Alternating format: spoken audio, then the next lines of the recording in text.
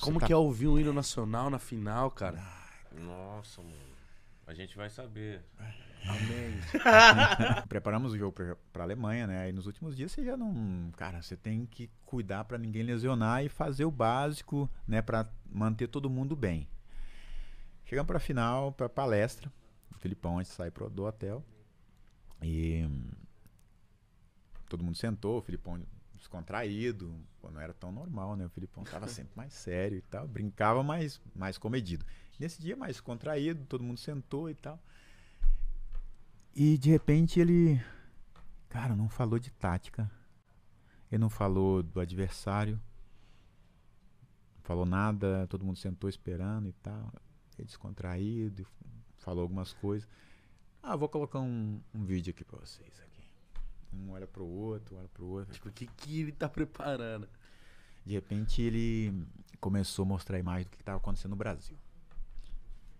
São Paulo, em Minas, no Rio, Nordeste. no Amazonas, no Nordeste, no sul do Brasil. Como é que as pessoas estavam torcendo, né? Os Nossa, lugares, pontes onde estava tendo as, é, os encontros, né? O FanFest e tudo. As né? galera na Organizar praça, na praça, assim. camisa amarela. As ruas pintadas. As pessoas Todo mundo com o cabelo do Ronaldo.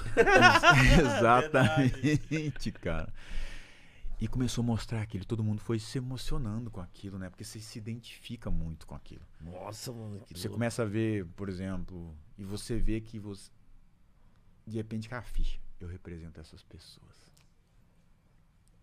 Eu represento essas pessoas. Nós representamos essas pessoas Sim, que estão lá no Brasil, que a gente não sabia o que estava acontecendo, porque, nem- pô, TV do Japão. Porém, depois do Japão não sabia nada.